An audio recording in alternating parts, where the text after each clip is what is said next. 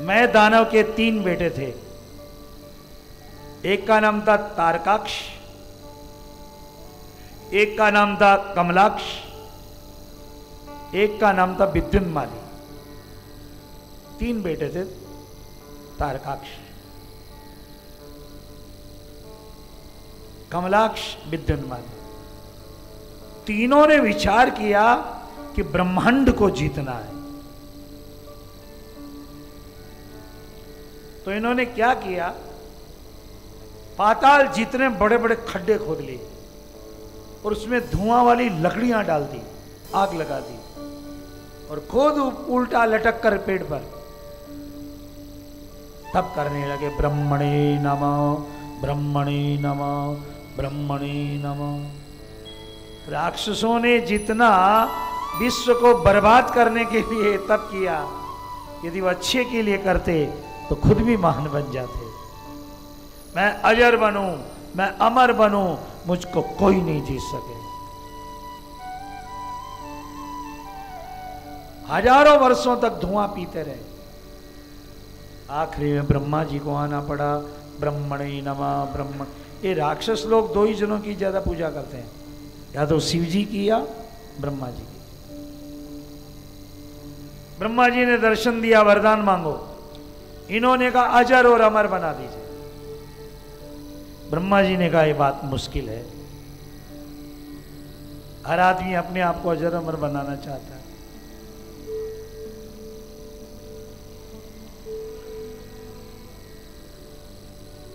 ऐसे बताओ, तुम मरोगे कैसे? तो तीनों भाइयों ने एक बुद्धि लगाई कि ब्रह्मा जी हमको तीन गाँव दे दीजिए। एक सोने का एक चांदी का और एक लोहे का तीन गाँव दे दीजिए।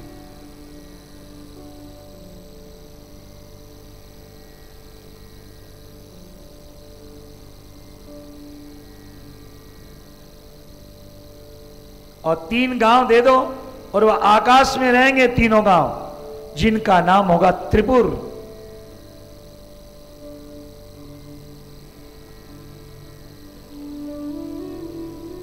ब्रह्मा जी ने कहा, और बोलो का तीनों गाँव में अमृत के कुंड रहने चाहिए। आप देखिए क्या क्या मांग रहे हैं राक्षस तीनों गाँव में अमृत के कुंड रहने चाहिए, एक बात। उसमें करोड़ों अरबों राक्षस रह सके।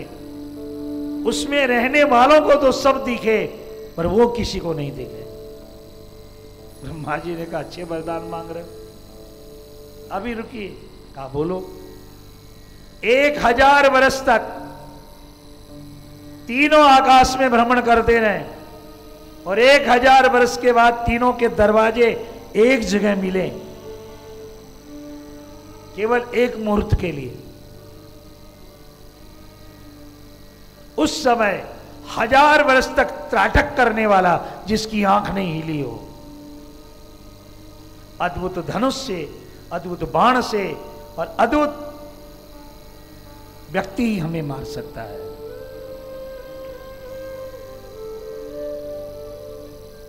जिस समय मारने का वक्त हो, आकाश में पुष्प मेघ नाम के बदल होने चाहिए।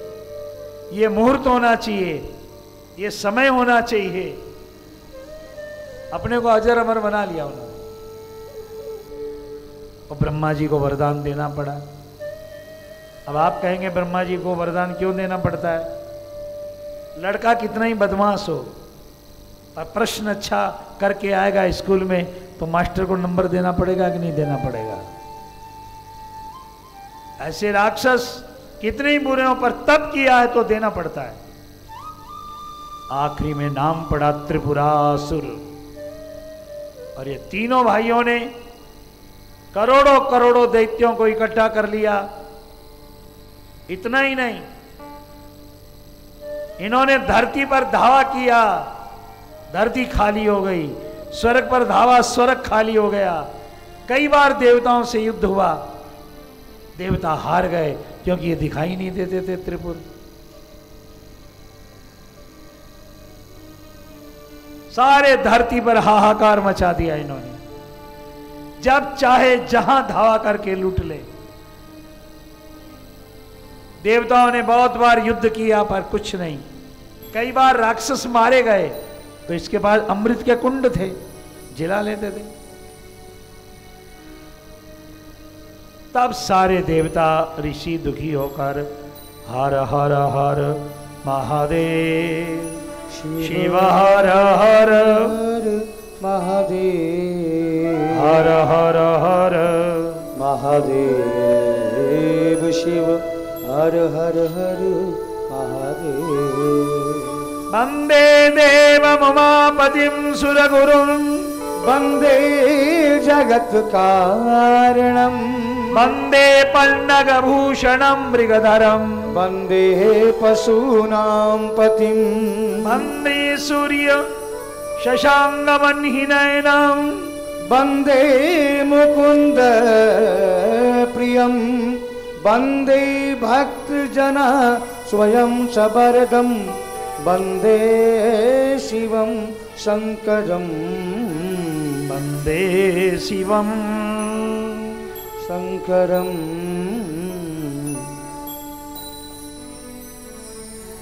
भगवान ने कहा त्रिपुरासुर को मैं कैसे मार सकता हूँ? क्योंकि त्रिपुरासुर को पता था शिव के सिवाय मुझे कोई नहीं मार सकते हैं। इसलिए त्रिपुरासुर ने हर घर में शिव मंदिर बना दिया। रोज त्रिपुंड लगाते थे, रुद्राक्ष पहनते थे।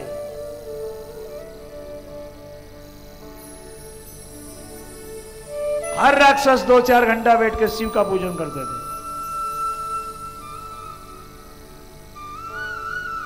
पूजा तो करते थे। लेकिन अन्याय करने में कमज़ोर नहीं थे। देवलोक मरते लोग, नाग लोग सबको लूट लेते थे।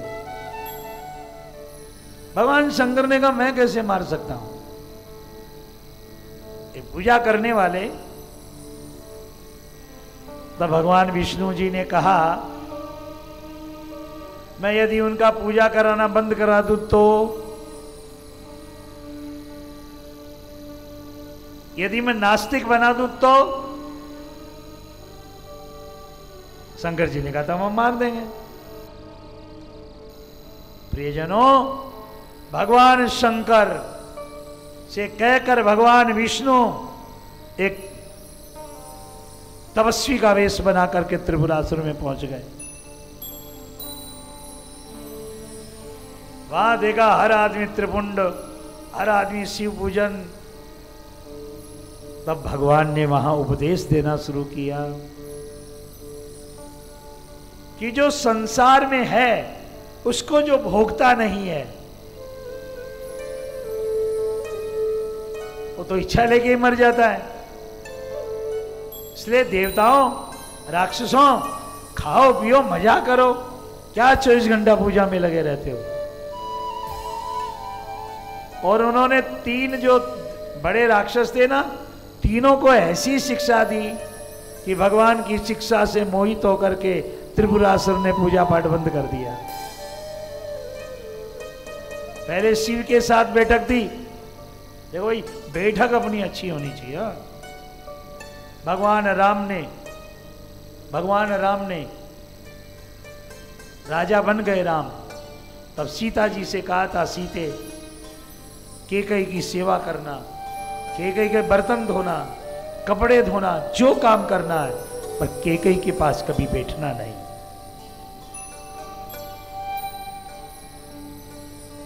सख्त मना कर दिया था, नहीं।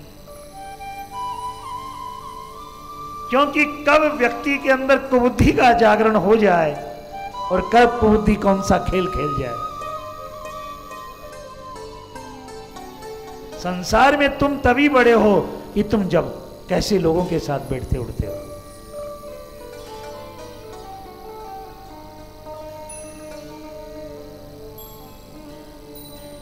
और जिन्न नाम के पुरुष की संगत की, त्रिपुरासुर ने शंकर भगवान की पूजा बंद कर दी। इधर भगवान विष्णु गाय बनकर तीनों लोगों के अंदर जो अमृत कुंड बने थे, वो पी गए।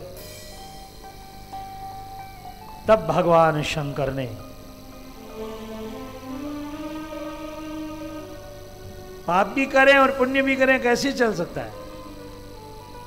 तब भगवान शंकर ने विचित्र रथ बनाया, विचित्र धनुष बनाया, विचित्र बाण बनाया, विचित्र घोड़े बनाए, जो आज तक सुनने में नहीं आए।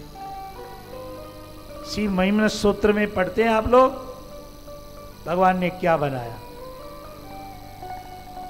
रथ क्षोणीयन्ता शतधृतृगेन्द्रो धनुरथो रथांगे रथाङ्गे चन्द्रार्कौ।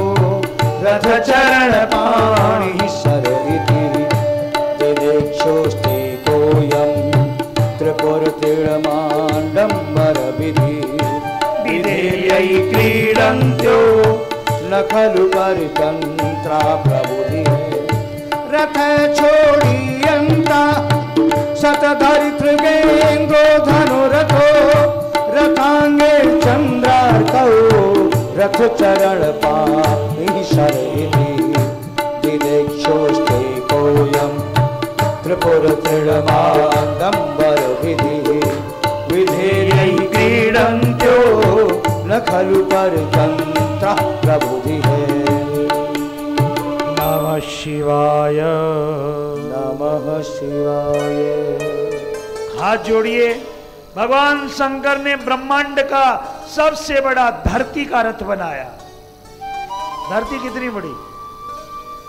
क्योंकि उसका वरदान था विचित्र रथ। सूर्य चंद्रमा के चक्के लगाए। धरती से हज़ारों गुना बड़े हैं सूर्य चंद्रमा। उनके चक्र लगाए। और उन्होंने सुमेरु पहाड़ का धनुष बनाया। विश्व का सबसे भारी धनुष। और उन्होंने धनुष के ऊपर बाण भगवान विष्णु को बनाया। धनुष पर बाण रख करके अपार शक्ति वाले धनुष को लेकर के जब धरती रथ बन करके चली सूर्य चंद्रमा के चक्र लगे, देवताओं के घोड़े बनाए गए बासुकी सर्प की रस्सी बनाई गई। और भगवान शंकर त्रिपुरासुर का वध करने जा रहे थे।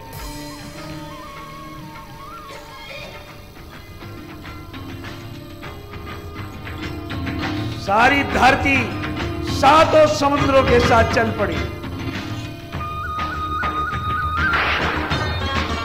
भगवान शिव ने जटाजूट में गंगा को बाँध करके धनुष पर बाण रखा और एक हज़ार वर्ष तक त्राटक। क्योंकि तो उसका था ना एक हज़ार वर्ष जो एक जगह आँख रखेगा, वही मार सकता है। शिव ने एक हज़ार वर्ष तक त्राटक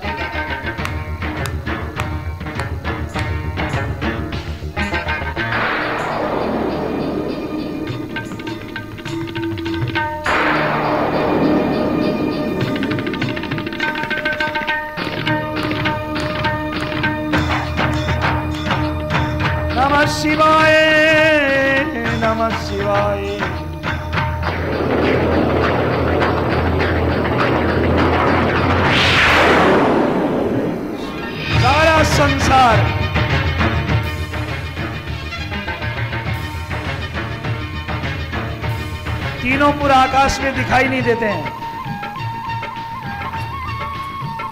और एक हज़ार वर्ष बीता। वरदान के अनुसार सोना का, चांदी का, लोहे का तीनों पुर दिखाई दिए।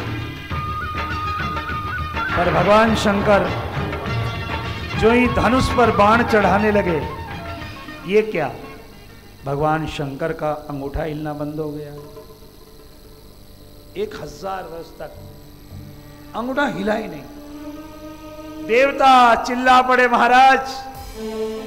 एक हज़ार वर्ष बाद देवता वाले, आज दिन आया, यदि आज चूक गए तो फिर दस हज़ार वर्षों के बाद।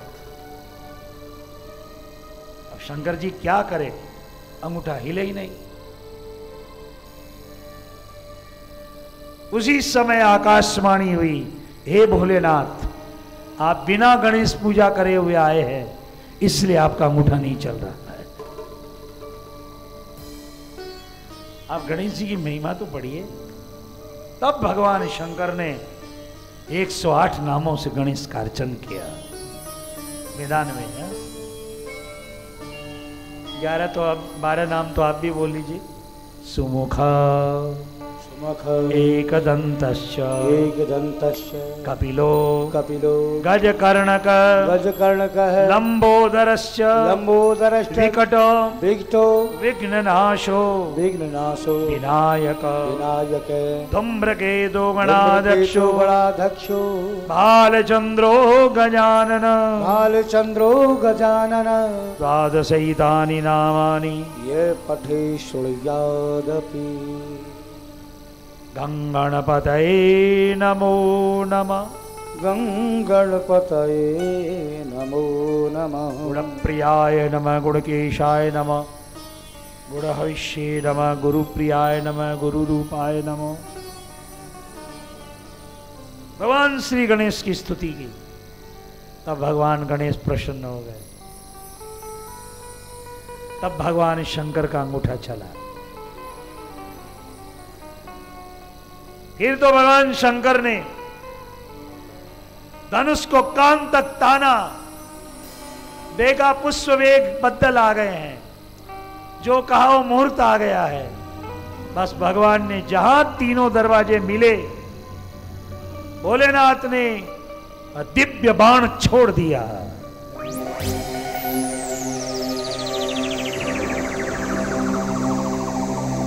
भगवान शंकर का बाण आकाश में गया। और जाकर के तीनों पुरों को एक साथ में विध्वंस कर दिया भगवान।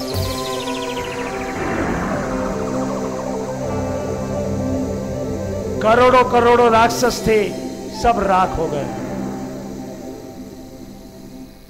पूरे के पूरे शहर थे वो तो सब खत्म हो गए। लेकिन अब तीनों पुरों के जलने के बाद राख धरती पर आने लगी। तब धरती माता काँप गई। मैं सातों समुद्रों के साथ नष्ट हो जाऊँगी। मेरी रक्षा करो। तब भगवान ने अपना शरीर भस्मांगरागाय महेश्वराय। धरती से लेकर आकाश तक विशाल शरीर बनाया और सारी भस्म को अपने शरीर पर धारण की अमरनाथ के पास कुछ उल्का गिरी। वहाँ पर आज भी ज्वाला नाम की नदी का जन्म हुआ उल्का गिरने से।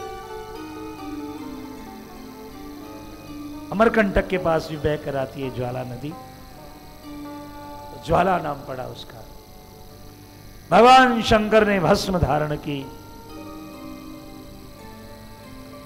देवताओं ने बाजे बजाए पुष्पों की बरसात हुई। भगवान शंकर का जोरदार स्वागत हुआ बोले शंकर भगवान की जय हो